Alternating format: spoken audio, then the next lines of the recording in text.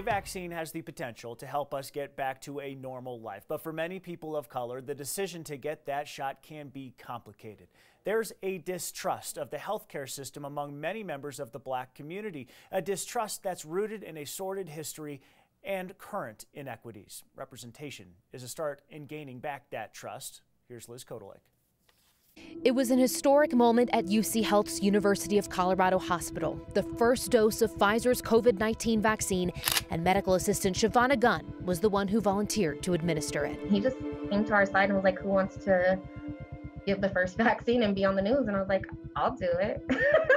the significance of a black medical professional injecting a vaccine was not top of mind, but days later, that importance started to set in. I'm glad that I can be a proactive voice. We can have more of our African American um, nurses and MAs and front desk people. We're going to have to have a lot of that in order for things to change and be okay. A recent Pew Research study found while 71% of black Americans knew someone who was hospitalized or died of COVID 19, only 42% said that they would get a vaccine. 9 News racial equality expert Dr. Rosemarie Allen believes that maybe because of what's happened in the past. The reason that black people are more likely to die from COVID is because of comorbidities um, that are a result of historical and systemic racism. Inequities in healthcare that have resulted in mistrust, leading many, like Dr. Allen, to seek out medical professionals who understand. As much as I can, I try to get African American doctors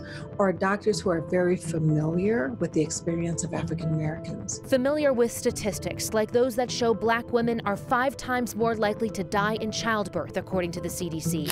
Familiar with history, like the Tuskegee experiment, where researchers let hundreds of black men with syphilis go untreated to study the progression of the disease.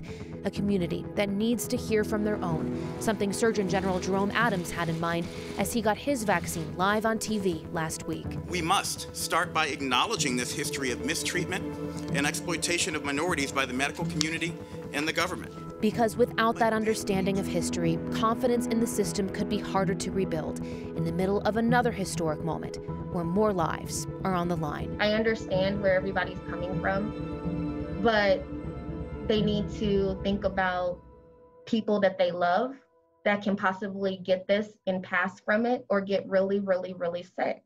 Liz Kotalik, 9 News. Hospital systems have been working on vaccine community outreach for months. UC Health tells us their efforts include collaborating with local organizations and leaders, making sure accurate information gets to communities of color from uh, people who they know and trust.